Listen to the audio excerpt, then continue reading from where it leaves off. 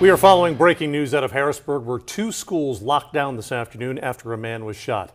It happened around 3 o'clock near North 6th Street. The district says the principals of Steele Elementary and Camp Curtin Academy immediately announced lockdowns. They were lifted after about 35 minutes, though.